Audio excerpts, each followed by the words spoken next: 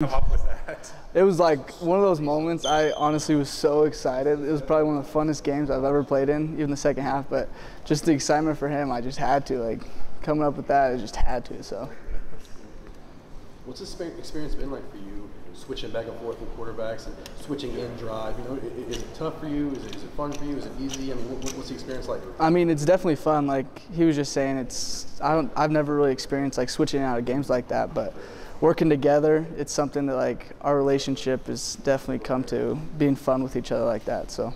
How have you seen Taylen handle this? And a lot of guys, when someone else is kind of taking some of this playing time, maybe there's, you know, some issues and stuff. But it sounds like that he's handled this about as well as he could have. Yeah, no, he's definitely one of the bigger leaders on our team, and he's shown that by this reaction. I, I mean, I love it. Like his support for me and my my support for him, it's one of those things that just rubs off on each other. And I think the whole team's starting to see that as we came together in that second half and rallied together and were never out of the fight. But was awesome. When the move was made, did he do anything to kind of reassure you, say, "Hey, we're good, man"? Like we're, or did, was that something that was just kind of always assumed? Oh yeah, I mean, we have our relationship obviously, so it was kind of one of those things that was assumed. But he did talk to me. I was like, hey, we're gonna do this together. Like we're gonna battle together. So.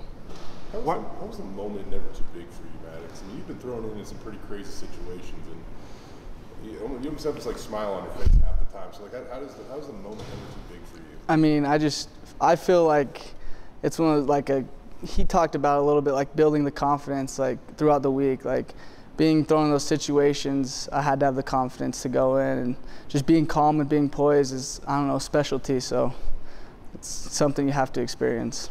On that fourth and sixth, uh, 44 yard line, you guys are down 27 to seven.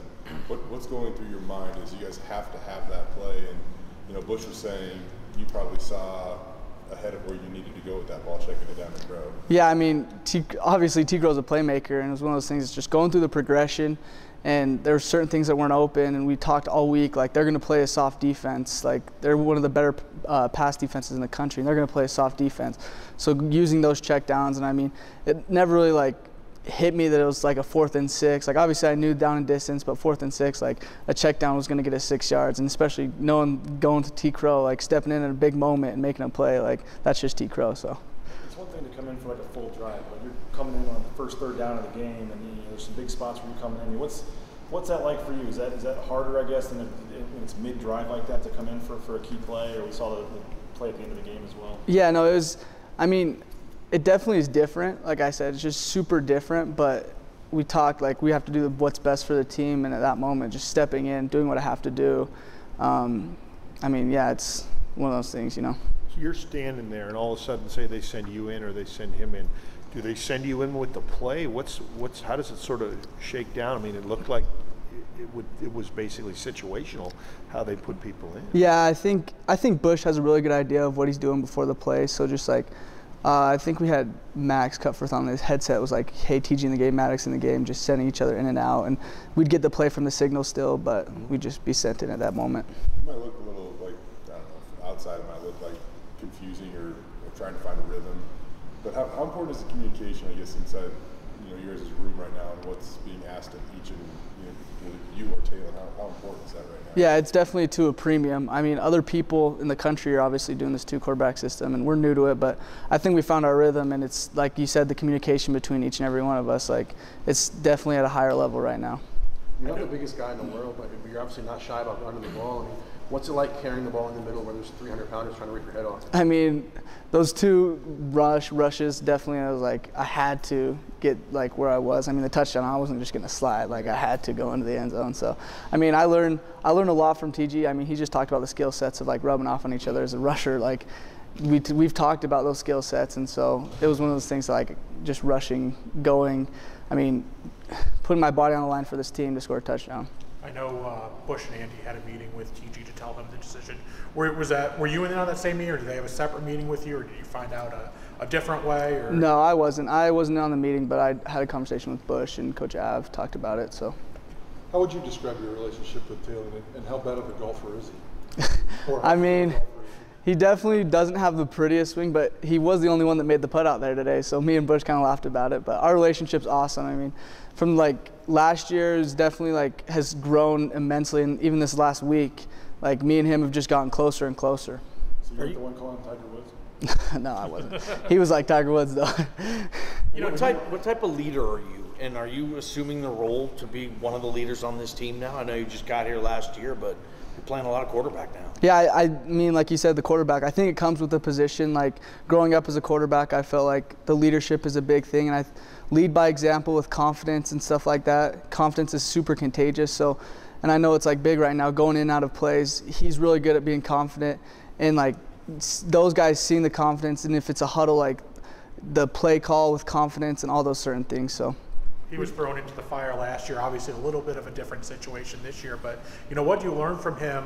You know, from watching him last year, and was he taught you about kind of being thrown into the fire for you this year? Yeah, he. I remember last year at a moment he, uh, like later in the season, he kind of grabbed me, um, and he was like, "Hey, like, you're like gonna be able to play sometime in this like this program." And so like him talking to me about like instilling confidence was definitely a big thing. After how productive you guys were in the last game, and maybe some questions leading into it, how much confidence does get, that give you to, for, to go throughout the season, especially this week at I mean, I think that was it's super super difficult to prepare for one quarterback, let alone two, with two different skill sets like Taylen and I. That I mean, he can throw the ball really well, and like, I mean, for a little bit like rushing, I feel like I can do that just as. So it's like one of those things that people can't prepare for two quarterbacks. So it's definitely gonna it's super powerful. It's a super powerful system, and we'll all work together to uh, be the best at it for sure. I don't know whether you can hear the other team, but do you hear them communicating who's in? Do they make comments to San Jose team like, okay, we got somebody new in the game this year? No, time? I haven't heard No, anything you- about you that. can't- you can't yeah. hear on the other yeah. side of the line? Yeah, I don't really hear that. Go over down height your whole career, right? Right. We, we've kind of asked you about it, but when they start trying to like stunt or take away throwing lanes or things like that, like how how do you overcome things like that? I guess. I mean, how do you stay a step ahead? Right, yeah. I think like a big part of it's timing of certain things, and a lot of times like the wide receivers will joke like I threw a ball and they didn't see me, but they just saw the ball flying. And it's like uh, we build it weekly about like the anticipation of where guys are going to be and where the ball needs to be as well. And I, I mean, I feel like I've learned as to play quarterback, like throwing around guys. It's very hard to throw over people, especially that have inches on you. So. As weird, as weird as it sounds, do you think it also adds to your anticipation as a thrower? Because out of the two, that seems like an area where you, you, you excel throwing to space or just having that anticipation. Yeah, definitely anticipation, and I, I was like, I was taught that at a young age in high school. Like the anticipation is a big thing, and so like anticipating where guys are going to be when they need to be there, and it's built out there, so for sure. There's a story that I'm working on kind of during the bye week. You know, NCAA football's coming back next year for the, the video game. You know, just how cool will that be for you to be able to play as yourself? And, you know, is that something you're kind of looking forward to? I mean, yeah, I think it's fun. I'm not a big video game guy, but it's probably something that I might have to purchase. Like that's that's fun. Like that's definitely fun for sure. All right, thank you. Thank you.